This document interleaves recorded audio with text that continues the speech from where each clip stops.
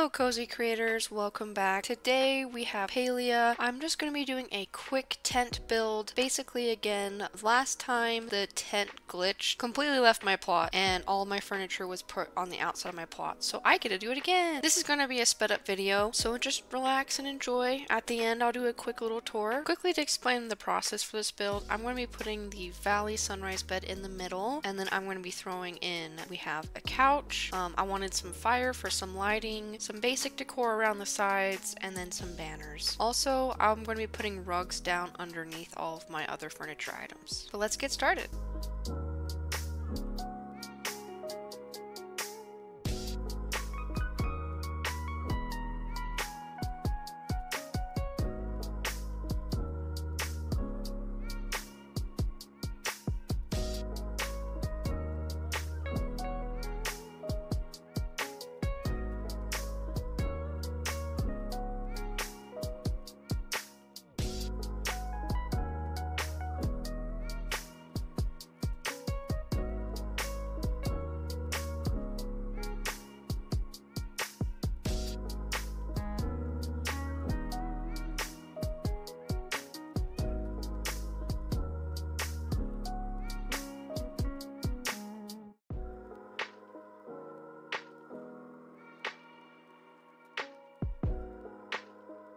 I'm going to show you how to do a free placement. If you click control and then click Z, you can freely move objects to however you want rather than having them snap into place with the grid system. Currently, I think this is only available on PC, but I don't know if Switch has this option too.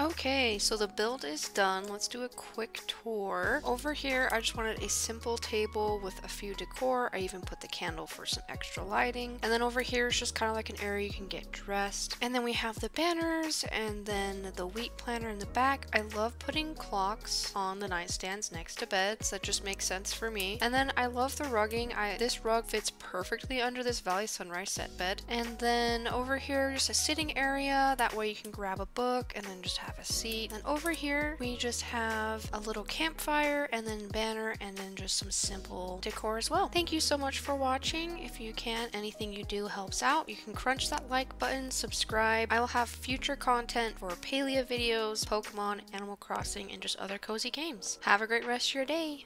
Bye!